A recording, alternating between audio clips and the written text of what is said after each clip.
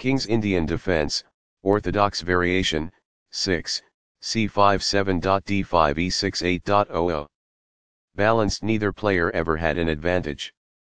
That game was pretty competitive. Black pounced on their opportunities in the opening. It was an incredible middle game by both players. White's accurate endgame play outshined Black. Opening with the Queen's Pawn. The Indian game begins by controlling the important e4 square with the knight, rather than a pawn. By taking control of the crucial d5 square and creating a space on which the knight can move to c3 without obstructing the c-pawn, move c4 helps to create a strong center. The d4 pawn is quickly attacked by the Benoni defense, which also creates spaces for the black queen to grow. D5 grabs more space in the center and prevents black from trading the c-pawn for the white center pawn. The bishop will be better off as a result of this. This develops a knight from its starting square, activating it. As a result, the bishop grows and gains flexibility on the long diagonal.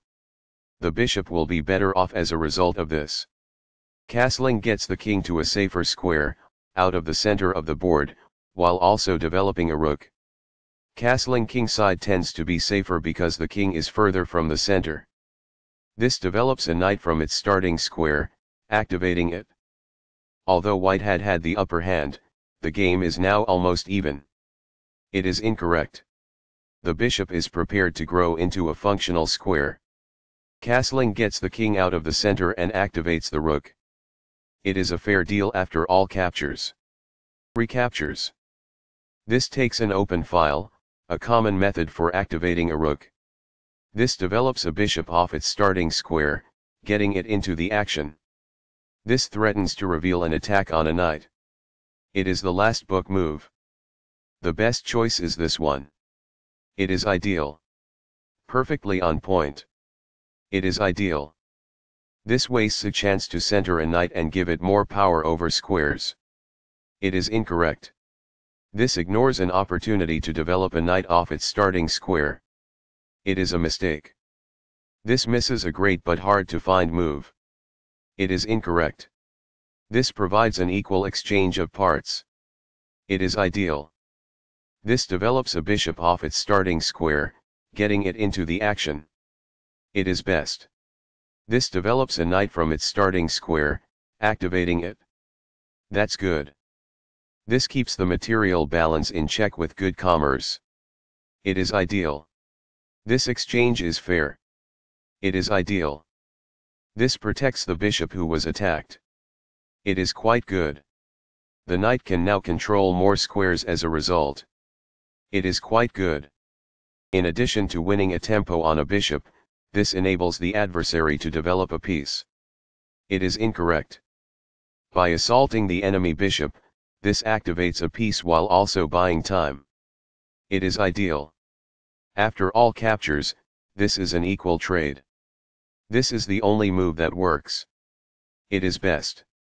Backs off. It is ideal. This deters an assault on a pawn that is weak. It is ideal. The rook is now on a square that is more secure. It is ideal. This strikes a rival knight. That's good. The knight is now on a square that is more secure. It is ideal. This provides an equal exchange of parts. It is ideal. This maintains the balance in material with a good trade. This is the only good move. It is best. Recaptures. It is ideal. As a result, the rooks are placed in a single file and are able to cooperate to pose a danger. It is ideal. The rooks are linked by this, making it easier for them to work together in the future. It is ideal. This misses a chance to threaten a bishop and gain tempo. It is incorrect. This is not the best approach. It is incorrect. This is an equal trade. This is the only move that works. It is a great move. It is a fair deal after all captures. It is ideal. This keeps the material balance in check with good commerce. It is ideal. Backs off.